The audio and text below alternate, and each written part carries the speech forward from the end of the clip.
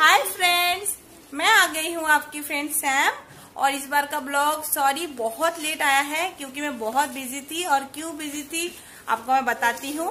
आपको तो last video पता होगा, मैं ससुराल गई थी सरप्राइजली विज़िट की थी, आपने आकर देखा होगा। होगा, अगर नहीं देखा है तो आप जाके मेरा लास्ट प्रीवियस ब्लॉग देख सकते हो। तो उसके बाद मैं आई हूँ अपने मम्मी के घर, जहाँ पे मैं इतने सारे कज़न ब्रदर्स लोग आसपास रहते हैं। उसमें इतनी बिज़ी हो गई कि इस बार का ब्लॉग बहुत लेट हो गया है। पर आपको पता है कि अभी चल रहा है फेस्टिवल सीज़न और सबसे बड़ा जो रीजन है यहाँ पे आने का वो है राखी, जिसकी तैयारी हम लोगों का अभी से शुरू हो गया है। कल है राखी और देख सकते हैं हम लोग अभी सिस्टर्स लोग क्या कर रहे हैं। अभी लग रहा है मेहंदी और मैं आठ साल बाद मेरे भाई को और मेरे कज़न ब्रदर्स को राखी बांधूँगी। हर साल मैं कुरियर कर देती हूँ। आना नहीं पॉसिबल होता है, पर इस साल हमारा प्लान बना तो हम आ गए हैं। तो इससे ज़्यादा खुशी की बात तो कुछ हो ही नहीं सकती है। तो मैं जितने भी राखी में जो भी होगा, मैं आपको अपडेट देती रहूँ।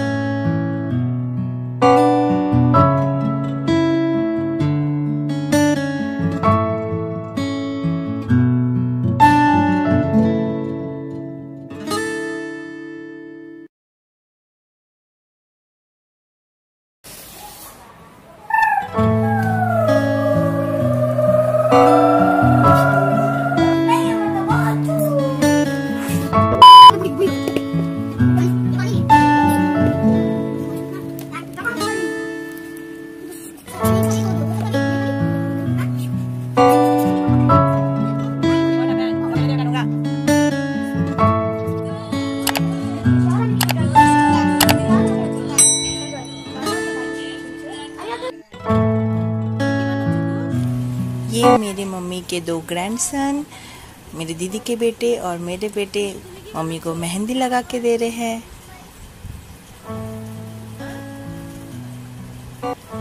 मम्मी भी फुल सपोर्ट कर रही है उनको। गुड मॉर्निंग फ्रेंड्स तो आज है रक्षाबंधन और आप सबको हैप्पी हैप्पी हैप्पी रक्षाबंधन। तो मैं सुबह सिक्स थर्टी बज रहा है, मैं उठ गई हूँ और ये देखिए, मेरा छोटा सा मेहंदी भी मैंने लगाया है। ज़्यादा कलर नहीं आया है क्योंकि मैंने जल्दी उसको धो दिया था। तो अभी मैं जल्दी से खाना जितने भी बनने वाला है, उसका पहले मैं प्रिपरेशन कर लेती हूँ क्योंकि सब जल्दी ही आने वाले हैं राखी बांधने के लिए भाई लोग।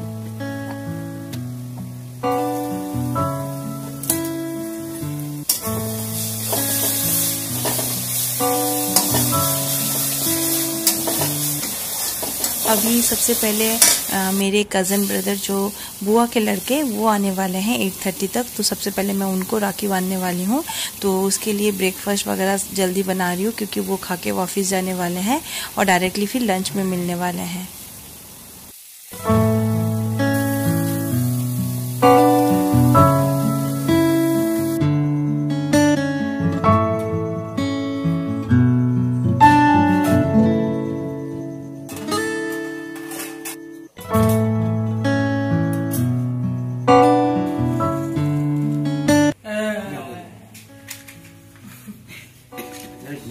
यहाँ का वेदर बहुत बहुत ज़्यादा अजीब है, क्योंकि ऑलवेज स्वेटिंग होता है, आपको हमेशा लगेगा कि आप कोई गीला कपड़ा पहन के बैठे हो। हमेशा ही फेस और कपड़ा स्वेटिंग से गीला रहता है, जिसके वजह से सबका तबीयत थोड़ा बहुत ख़राब है। जी।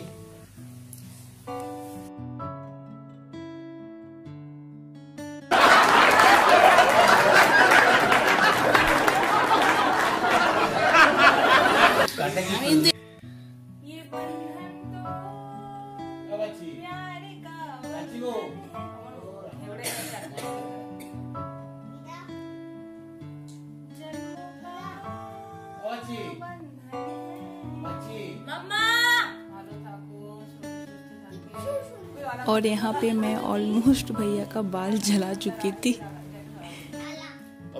आपको पीछे से सबकी आवाज़ आ रही होगी जो सब मम्मी को बुला रहे हैं। आ, क्योंकि हम इसलिए बुला रहे ताकि वो थोड़ी सी कुछ रिस्पांस करें कुछ बात करें इसके लिए।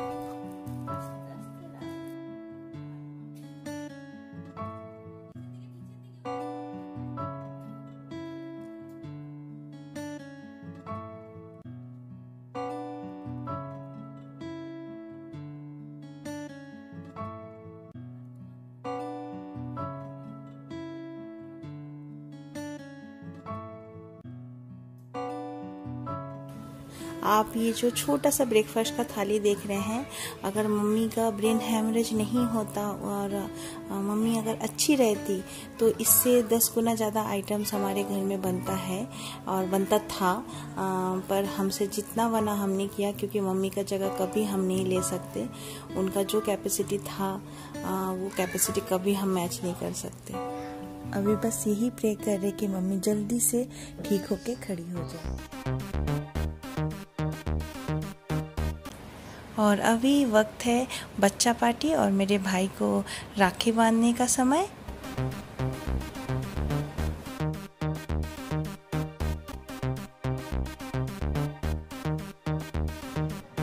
One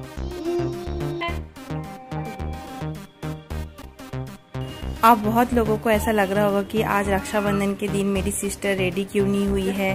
वो क्यों ऐसे घर के कपड़े में है?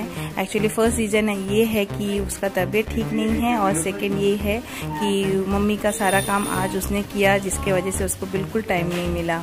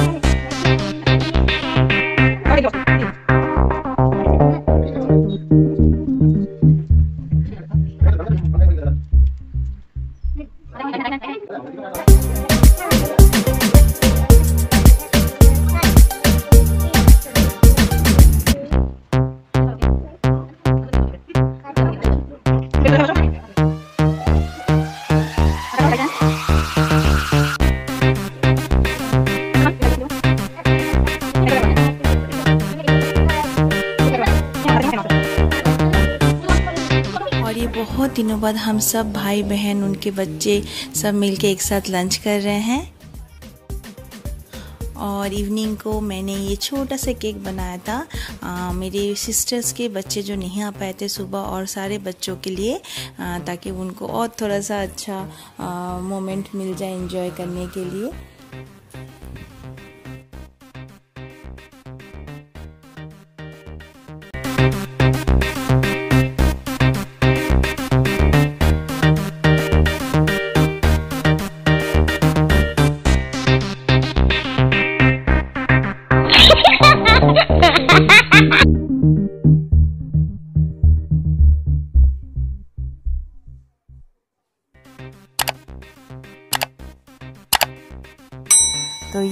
आज का छोटा सा रक्षाबंधन का ब्लॉग। तो इसी ब्लॉग के थ्रू मैंने कोशिश किया कि मैं मेरे घर वालों से आपको इंट्रोडक्शन कराऊं। और अगर आपको ये ब्लॉग अच्छा लगा है तो प्लीज़ लाइक शेयर और सब्सक्राइब माय चैनल और मिलती हूँ मैं नेक्स्ट वीडियो में। तब तक के लिए बाय बाय टेक केयर